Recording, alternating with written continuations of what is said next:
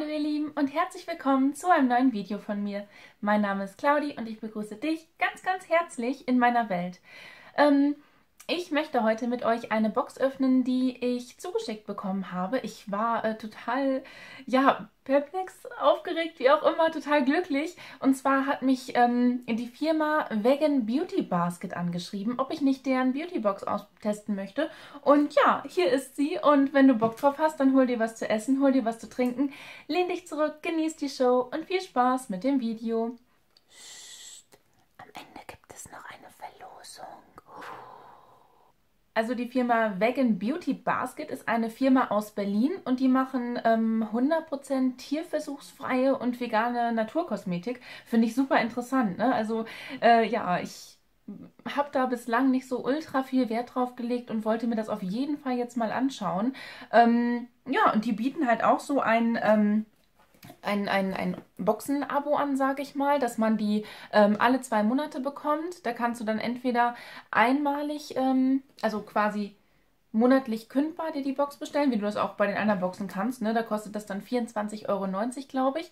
Ähm, bei dem 6-Monats-Abo, also wenn du drei Boxen bekommst, kostet das 23,30 pro Box. Und wenn du sagst, hm, ich weiß noch nicht so genau, dann kannst du dir die Box bestellen einmalig als Probebox. Und dann kostet die 27,90 Euro, glaube ich. Ich guck mal. Ich habe nämlich hier vor mir so einen Zettel, wo ich das aufgeschrieben habe, weil ich euch auch gerne vorab so ein paar Infos geben wollte. Ähm, ja, ich fand das ganz interessant. Ich habe auch mal so ein bisschen mich auf der Homepage umgeguckt und äh, die gibt es wohl irgendwie, also die Vegan Beauty Basket seit irgendwie 2015 oder so, weil man konnte sich so die alten Boxen anschauen und das ging halt bis Juli 2015 zurück. Ähm, ja, also der Warenwert in der Box ist immer ungefähr zwischen 50 und 80, also das schwankt irgendwie auch so.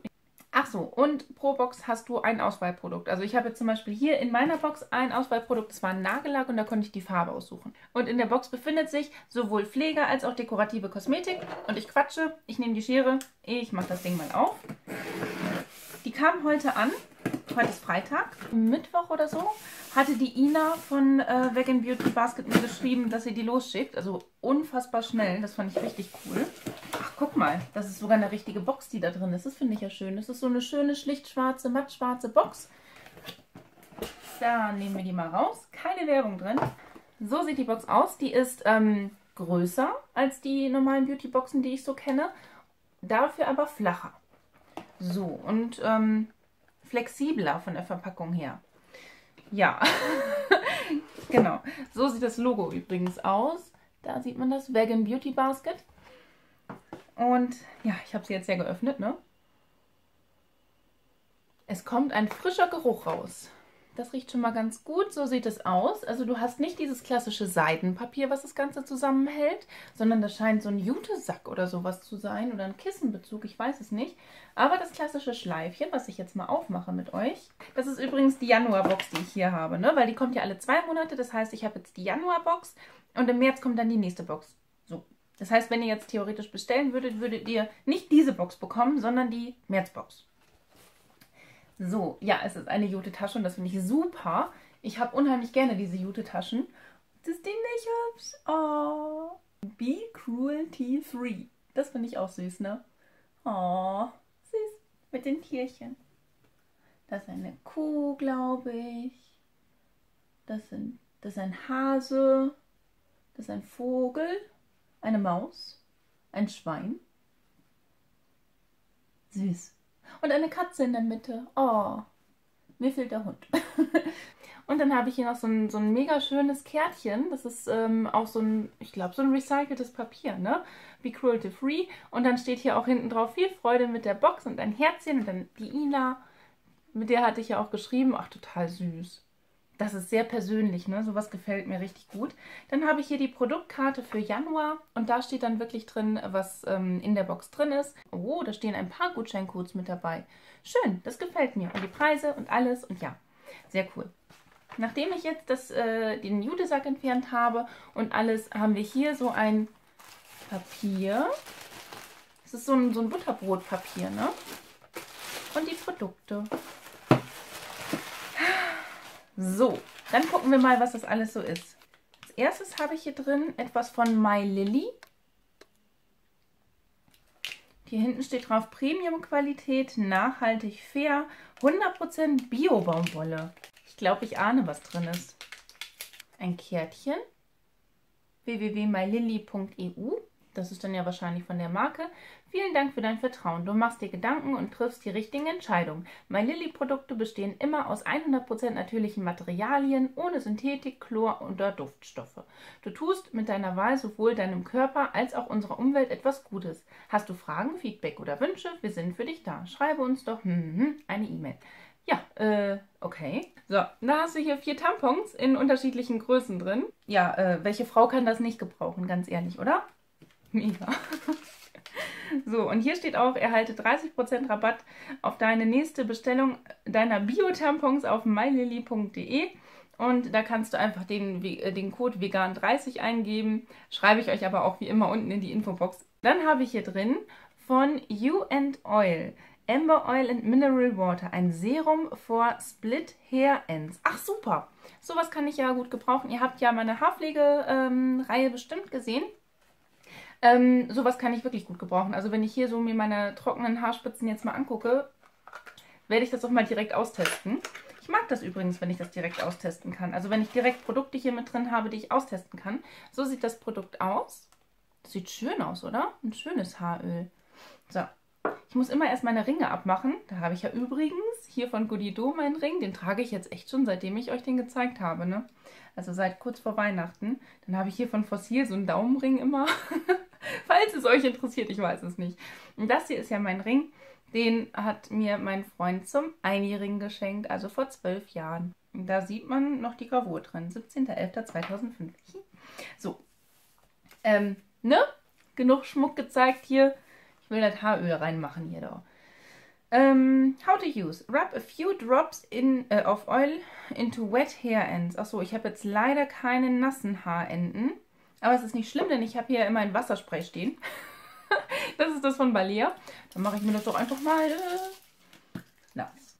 Ist eigentlich eher so ein Spray, was man für den Körper benutzt oder zum Fixieren oder zum Pinsel an Dingsen. Ne? Aber du, ganz ehrlich, mache ich jetzt hier mal eben kurz mit euch auch mal eben ein bisschen fresh.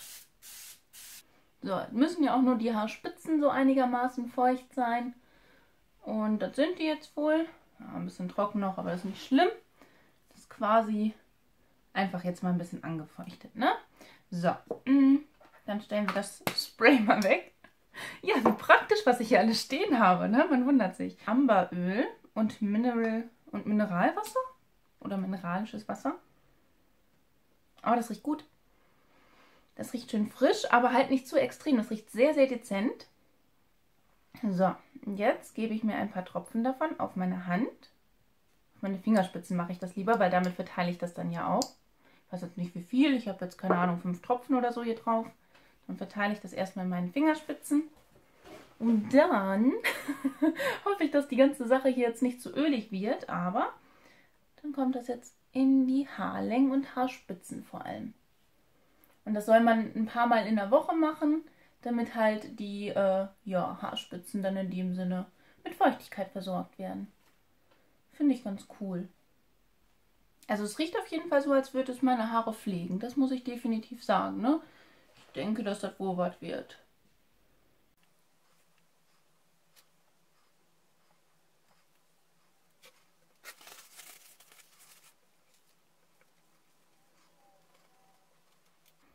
Ja, ich denke, dass man das halt erstmal trocknen lassen muss. Und äh, dann sieht das halt alles auch ein bisschen besser aus. Jetzt sieht es halt einfach sehr strähnig hier aus, ne? Aber gut. Es riecht gut, es fühlt sich gut an.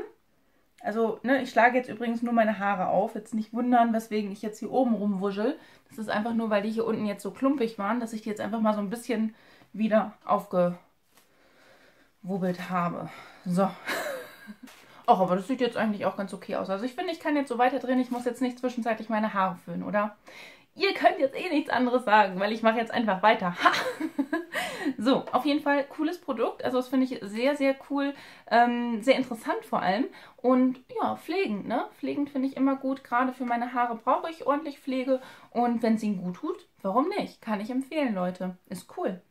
So, dann habe ich hier, oh cool, von I plus M, das ist glaube ich auch eine Marke aus Berlin. Und ich habe von denen so ein Deo, ähm, was man sich, ähm, also so ein Creme-Deo, ne, also in, in, einem Pöttchen tatsächlich auch schon mal in der Box gehabt. Das ist auch fair, organic, vegan, ähm, Freistil Sensitive, ähm, eine Feuchtigkeitscreme, parfümfrei, ja schön. Die leichte Gesichtscreme mit feuchtigkeitsspendendem Hyaluron und beruhigender Aloe Vera, regenerierendes Jojoba und Mandelöl pflegen die sensible, trockene Haut, stärkt hauteigene Schutzfunktionen. Finde ich cool. Ich komme gerade relativ frisch von der Arbeit. Das heißt, meine Haut dürfte definitiv mal Feuchtigkeit bekommen. Ähm, Leute, ich mache mir die jetzt einfach mal drauf. So, ich habe die Haare mal eben mit einem schicken Haarreifen so ein bisschen nach hinten gemacht und dann gucken wir uns das einfach mal an. Ich meine, das hat jetzt, wie lange hat das eine Haltbarkeit? Vier Monate, okay. Das heißt, ähm, sobald ich meine, ich muss kurz überlegen, was habe ich für eine Gesichtscreme? Ja, die habe ich auch relativ bald aufgebraucht. Das ist von Estee Lauder eine. Ich denke, dass ich die in ein, zwei Wochen aufgebraucht haben werde. Dann stelle ich mir die nämlich direkt daneben, dass ich die dann auch direkt weiter benutze. Weil wenn ich jetzt die aufmache, ne, vier Monate, Leute, sonst kippt mir die. Das wäre zu schade, weil ich glaube nicht, dass es unbedingt günstig ist. Aber ich möchte das ja mit euch zusammen ausprobieren. So, äh, ach so, ja, so sieht das aus. Es sieht äh, ein bisschen aus wie... Woran erinnert mich das? An R2D2 von Star Wars. gutes Geräusch, gutes Geräusch. Okay, ich habe jetzt ein bisschen hier was auf meiner Hand. Riecht nach nichts. Wirklich nach gar nichts. Ist ähm, sehr dickflüssig. Ne? Und jetzt mache ich mir das einfach mal drauf. Es riecht wirklich einfach nur nach Creme. Das hat keinen starken Geruch in dem Sinne. In der Theorie benutze ich ja normalerweise auch noch ein paar andere Cremes. Aber jetzt darf dir mal hier so der alleinige Gast in meinem Gesicht sein.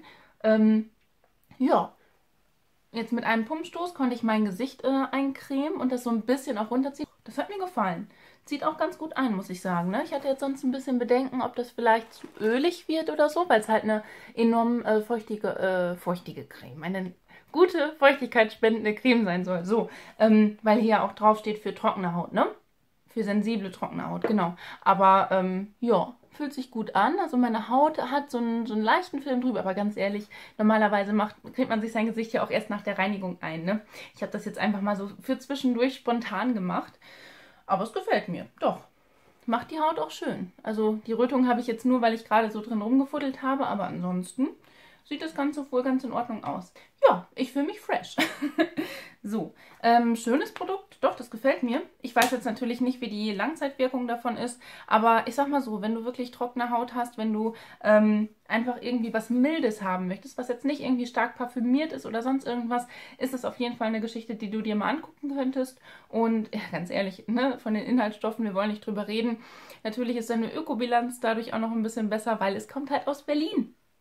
Es ist nicht um die halbe Welt gereist. Ja, gefällt mir. Sehr schön. So, was haben wir als nächstes? Ähm, Marina Miracle Herbal Face Oil. Also das kommt aus Norwegen.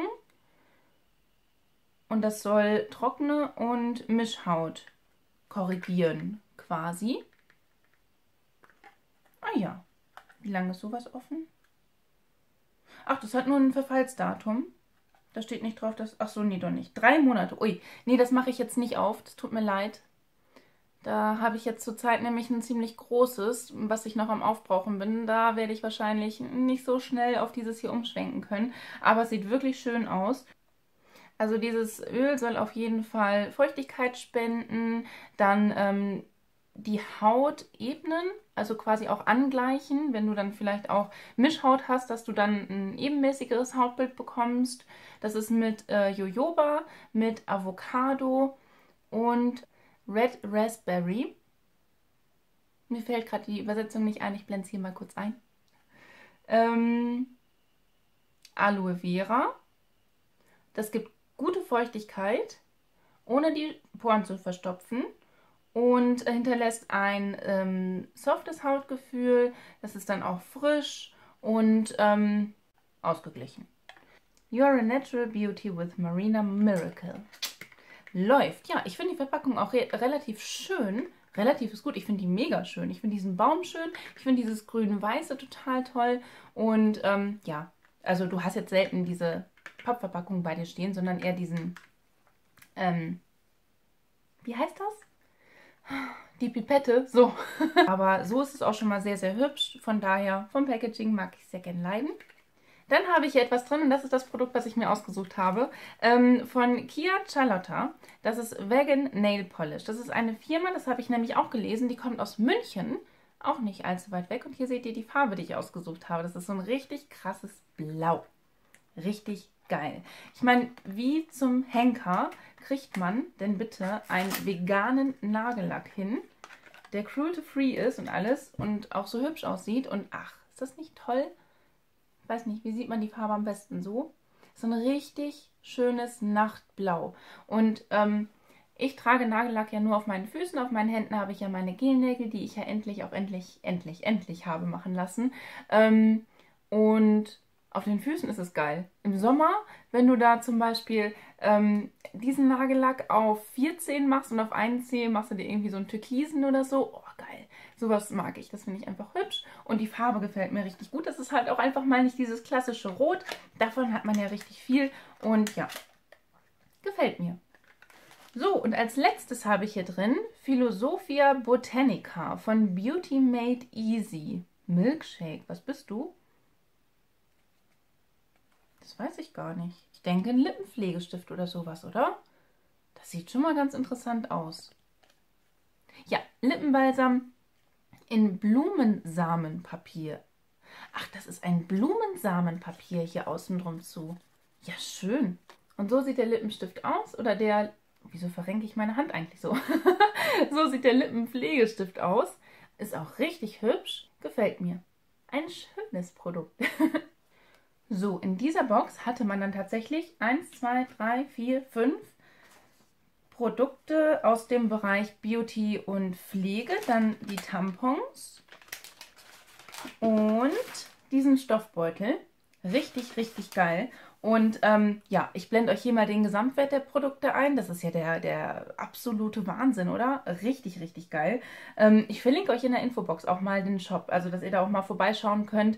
Ähm, ich finde es super interessant und ja, auch mal einfach was anderes. Ne? Also es erinnert mich so ein bisschen an die Fairybox zum Beispiel, aber so wie ich das mitbekommen habe, ist es unheimlich schwer, diese Fairybox zu bekommen, wenn man da auf Wartelisten steht und so weiter.